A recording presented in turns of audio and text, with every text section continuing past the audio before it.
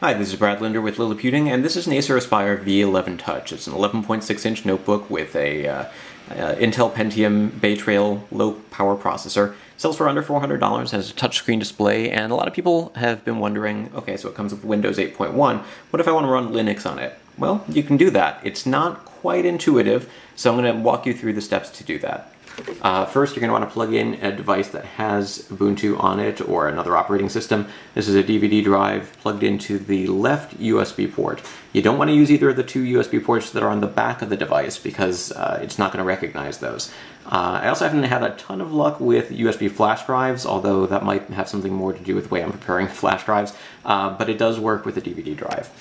Now, out of the box, it's going to try to boot first from the Windows bootloader and from the hard drive, and uh, what we need to do is tell it to boot from the disk drive. So I'll show you how to get into the settings. There are a couple of ways to do this. Uh, from Windows, you can hit Settings, change PC settings, Update and Recovery, Recovery,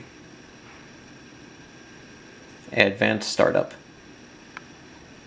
Now, if you wanted, you could also just shut down the computer and sort of hammer the F2 key until you can get into the UEFI settings.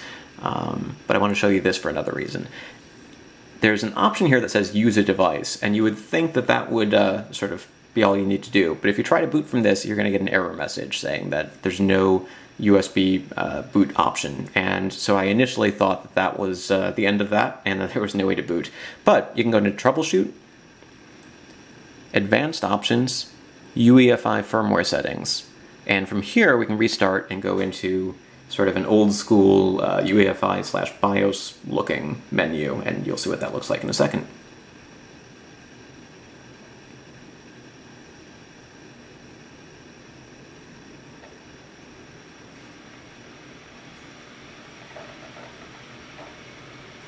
So here we are, and you can go into boot options, and there's a couple of different things you can do here. You can disable UEFI and switch to legacy boot mode.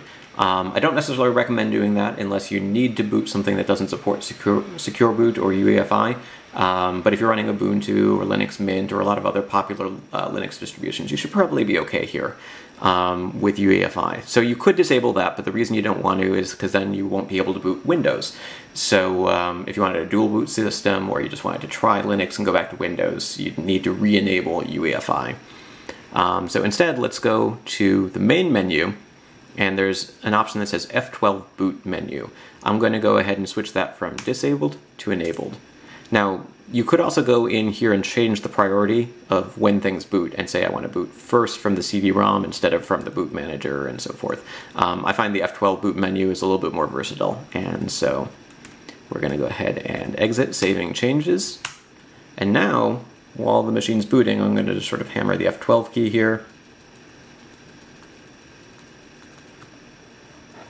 And instead of booting straight from the Windows bootloader or giving us an error message saying that there's no DVD boot option, it should give us this screen, which says Windows Boot Manager first, USB CD-ROM second. Hit enter, and now we have an option to try Ubuntu without installing or install Ubuntu. I'm just going to try without installing. And rather than wait for the whole process of uh, having the operating system load, which takes a little while, I'll just show you that shortly we should see an Ubuntu menu. Right now you just see a camera. And there it is. So Ubuntu is now loading and we can try it without installing it to the hard drive. In order to get back to Windows, all I need to do is uh, turn off the computer, unplug the DVD drive, reboot, and we're good. That F12 boot menu, if you don't press the F12 key, nothing happens, so there's no reason not to leave it enabled. Uh, but you can always go back into the settings and disable it. Again, the way that I hit the F12 key during boot, if you hit F2 key during boot, you should also get to that same menu. So it might be a little bit faster than going into the Windows settings and advanced restart and so forth. I mostly wanted to show you advanced restart to uh, give you the warning don't use the boot from CD or DVD option because that's not going to get you where you want to go, at least not initially. This is Brad Linder with Liliputing and a look at uh, Ubuntu running on the Acer V11 Touch. You can uh, find more details about this laptop in our complete review at liliputing.com.